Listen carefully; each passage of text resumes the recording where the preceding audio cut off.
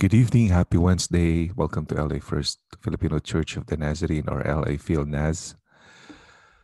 This is uh, Pastor Jeff, and uh, please join us and um, like, share, subscribe, or whatever. Uh, join us in our uh, social media platform Facebook, YouTube, Instagram. And uh, don't forget to join us every Sunday, 9 a.m. at Wiley Chapel in Los Angeles.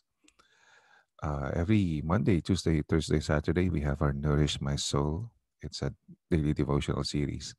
Every Wednesday, 7 p.m., Walk Through the Bible, the virtual midweek live in Facebook and YouTube. Every Friday, 8 to 9 p.m., one hour only, Bible study and prayer party. Sundays, of course, 9 a.m. in person at Wiley Chapel or online, virtual worship live, Facebook and YouTube. So practically we're we are available for you every day. so welcome back to the 52 weeks journey of a lifetime. This is to ensure everyone reads the entire Bible in a year. So our series is called Walk Through the Bible. We started with the Old Testament, of course. There are two parts of uh, the Bible, the Old and the New. So from the Old Testament, we're done with the first five books from Genesis to Deuteronomy called the Pentateuch. We're done with the 12 historical books from Joshua to Esther. We're done with the third section of, uh, of the Old Testament, the books of poetry from Job to Songs of Sol- Song of Solomon. So we're entering the fourth section of the Old Testament, and these are the prophets the prophets which uh, which is divided into two major and minor. So we will start with the major prophets uh, from isaiah to daniel. All right let's start with the book of isaiah this is lesson number 18 so we have a lot of things to learn no? tonight nako saya-saya naman. So ano ba na ba yung matututunan natin sa book of Isaiah. So since we, we are now entering the final section of the Old Testament, no, the prophets, the poetical books, no, alam niyo ba na we which we just studied were uh, written uh, during the golden age of Israel na kung saan ay si David at si Solomon ang naghahari. And those it was called the golden age if you were if you watched before yung mga previous uh, series uh, uh, previous uh, teachings natin sa Walk Through the Bible, we talked about the golden age of Israel. Uh, these were the time na super okay sila, may peace, may prosperity, walang masyadong problema. Yun lang, the prophetical books na pag-uusapan natin which will start with the book of Isaiah today, uh, uh, kumbaga, the prophetical, prof, prof, napabulala the prophetical books na we will now study eh, were written during the days of, nako, gloom. Days of gloom naman when Israel had abandoned their religion and their God. Mm-hmm. Kaya nga, in Deuteronomy 18, 15, 22, no, maalala niyo doon, Moses wrote that God would raise up prophets to declare His message, messages. So may sagot agad ang Panginoon doon. No? And of course, God did just that. No? So, uh, mapapansin nyo, uh, sabi natin before, no, uh, yung Proverbs, ang ibig sabihin yung pro, ibig sabihin instead of, and then yung verba, ibig sabihin naman words. Kaya instead of many words, no. So, nung sa ano naman, sa word na prophet, ganun din yung pro, ibig sabihin instead of, and then yung peth, eh, to speak. So parang someone is speaking instead of you, parang ganun. So parang sila yung messengers, parang ganun. So the office of prophet, no, eh nagsimula yan during the time of Samuel and ended with Malachi. Alam niyo naman, yung Malachi, yun yung last book sa Old Testament. No? The time of the prophets can be divided into two parts. No? Before the 8th century kasi, you BC, the prophets were primarily spokesmen to the kings. O sila Samuel, Nathan, Elijah, Elisha, yun yung mga sample. No? And then during and after the 8th century uh, BC, eh, the prophets uh, the prophets geared their messages to the nation of Israel as a whole. And sometimes even sa mga foreign nations. No? Also, during this time, the prophets' messages began to be written down and preserved. So medyo naging high-tech na ng konti. So mapansin nyo naman, the books of prophecy are divided no, sa five major prophets and 12 minor prophets. No, sa bandang uh, right part ng screen ninyo. No, kasi they are not called uh, major and minor because some are more important than the others, no? But because of the amount of material in each book. Yan, kasi mas mas marami na susulat dun sa mga major prophets. The prophets were authoritative no during their time, very influential. Mga influential teachers sila because they were directly no or direct spokesperson, a spokesman ng Panginoon. They received their messages directly from God and preached them to the people. Mm-hmm. Kaya uh, kumbaga astig, no? Itong mga prophets na to. The prophets were very unpopular nga lang during their time. Well, hanggang ngayon naman eh.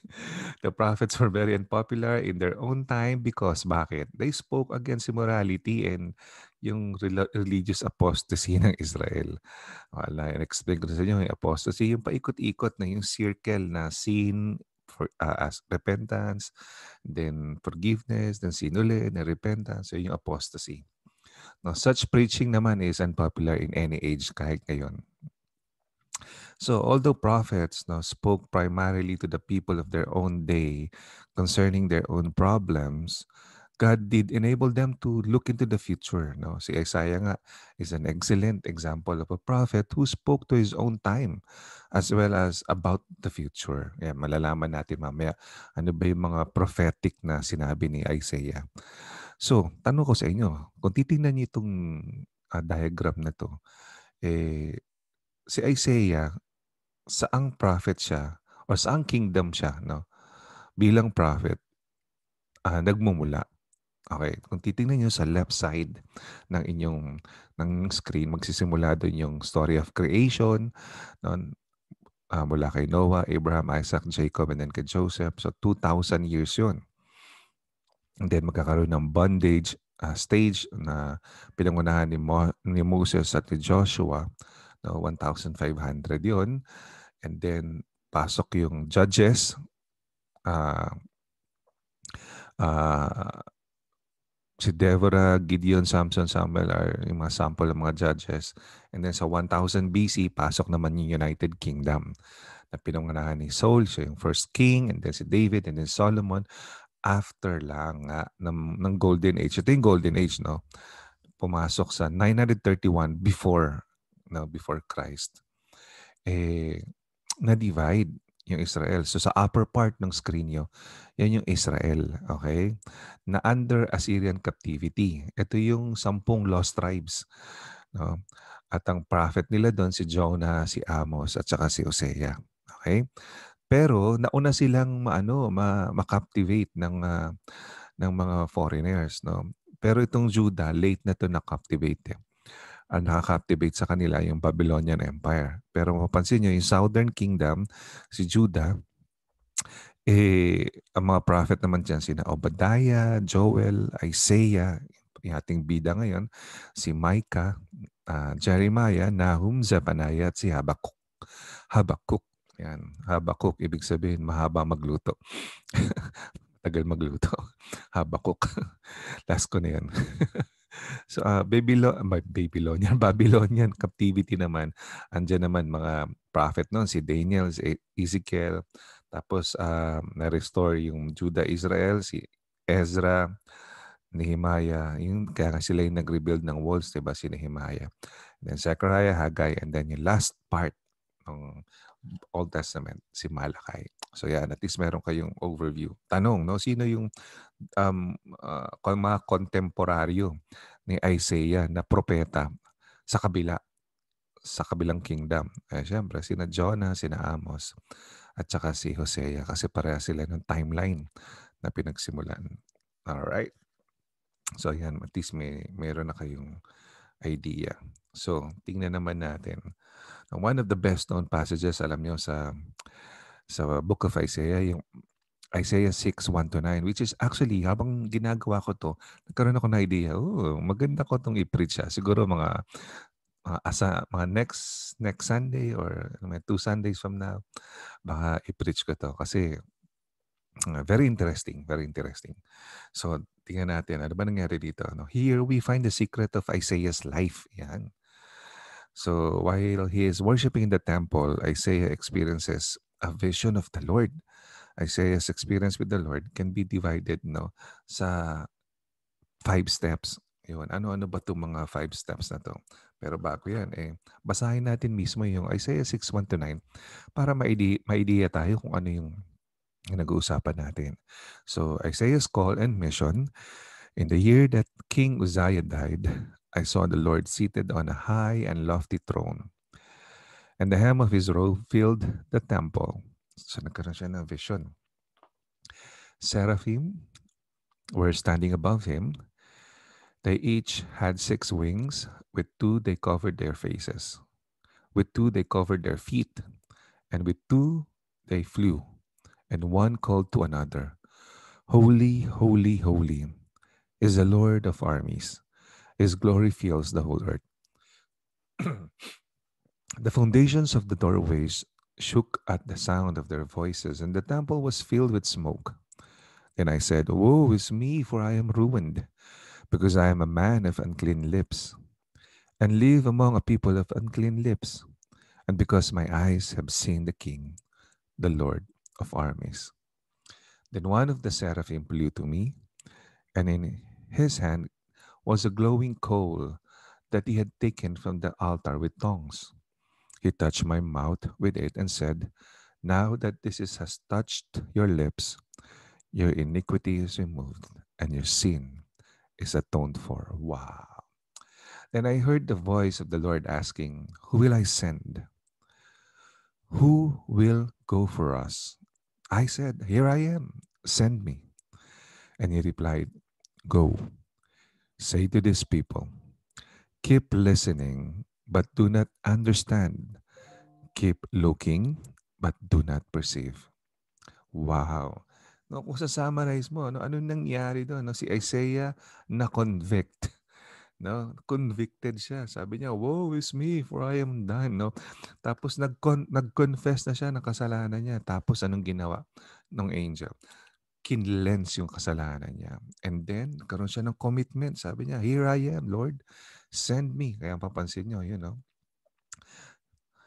Here I am. So, tapos ang last part, Isaiah is commissioned. No? Pinadala, ginamit siya. Kaya, to be honest, ang tagal ko nang pinag-iisipan to. Gusto ko magpatato sa paa ng send me. yung two words na yan. No? For me to be reminded every time I will look at my foot, no? Uh, particularly left foot. Kasi uh, sabi nga ng Biblia, how beautiful the feet of those who, you know, spread the gospels, no? Uh, do missionary works, no? I want to be reminded every day that God is sending me and I said yes. No, kasi one day I want to go out from the comfort of the local church and you know you'll still be pastoring locally but you know from time to time go out and do missionary works no kasi Iba, eh, iba yung feeling na you you're doing yung pini-preach mo talaga 'no. Kumbaga anyway, Isaiah came on the scene at the turning point in the history of the divided kingdom, you. Dumating siya, mapansin niyo, ayan, bibilugan ko siya dito, ayan. So, nasa ito yung divided kingdom, ayan. So, nandito siya.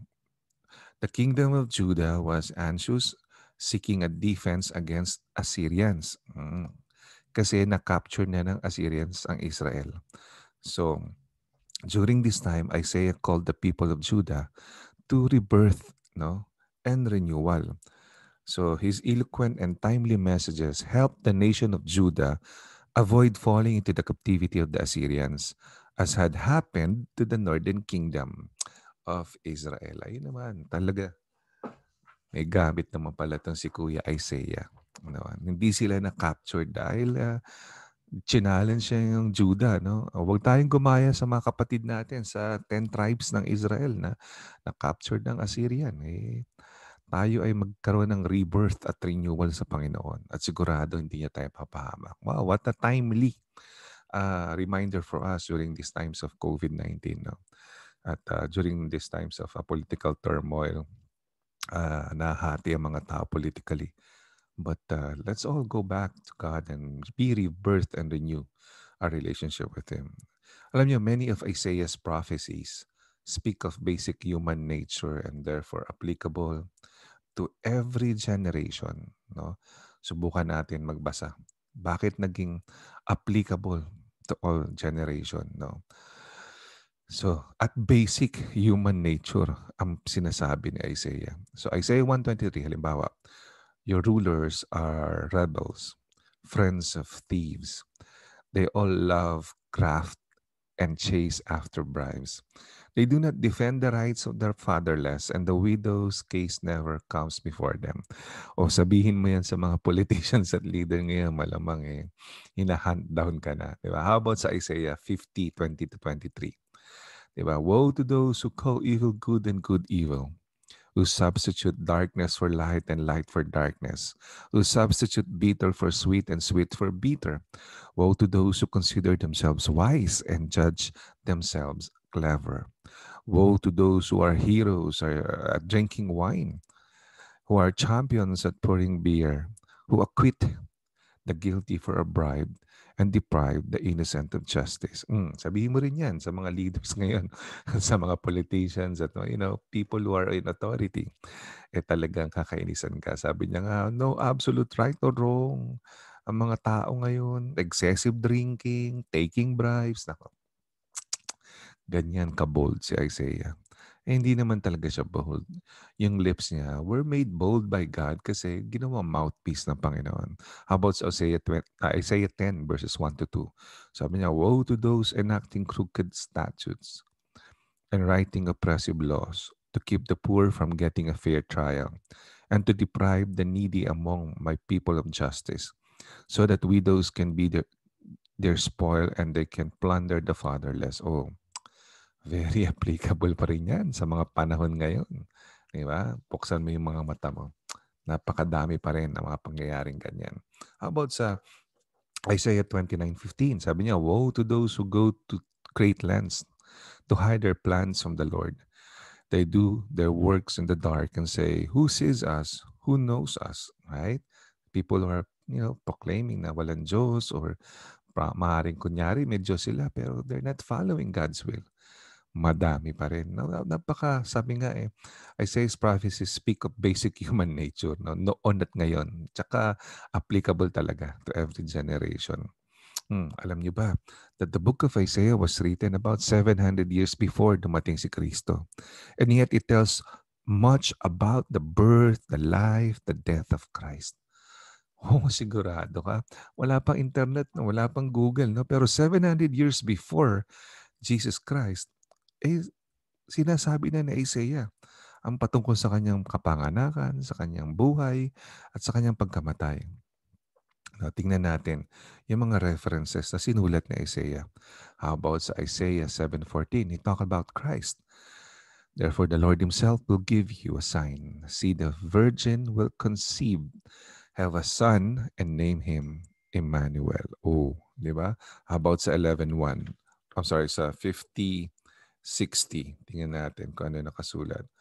Um, I gave my back to those who beat me and my cheeks to those who tore out my beard. I did not hide my face from scorn and spitting. Hmm. Diba? Sino naka-experience nun? About sa Isaiah 11.1, di ba sabi yun, He will be a descendant of Jesse. Di ba? Galing kay David. How about sa Isaiah 53? No, verse, uh, verses 3 to 5. He was despised and rejected by men, a man of suffering who knew what sickness was. He was like someone people turned away from. He was despised, and we didn't value him. Yet he himself bore our sicknesses, and he carried our pains. But We in turn regarded him stricken, struck down by God, and afflicted. But he was pierced because of our rebellion, crushed because of our iniquities. Punishment for our peace for, for our peace was on him, and we are healed by his wounds. Wow, wow, wow, wow, wow, wow. Astig, no? Astig. Hindi lang yun. Uh, sabi pa nga sa uh, ano sa Isaiah, no? Fifth, uh, ayun na nga yun. Kamali ako. Sorry. Mali yung notes ko dito. anyway, the book of Isaiah is quoted more times, alam niyo ba? More times in the New Testament than any other prophetical book. In fact, no, this book, ang book of Isaiah, sometimes, no, tinatawag din tong ano eh, uh, Bible in miniature. No? Bakit? Kasi it's ano meron siyang 66 chapters ang book of Isaiah. Parang kinukumpara sa 66 books ng Bible. So parang miniature talaga ng Bible. Na divided din into two parts. No, 39 chapters, no. Yung first 39 chapters. The same as the number of books in the Old Testament. And yung 27 chapters in the second, no the same as the number of books in the New Testament. So, like the Old Testament, the first section of Isaiah also speaks of judgment.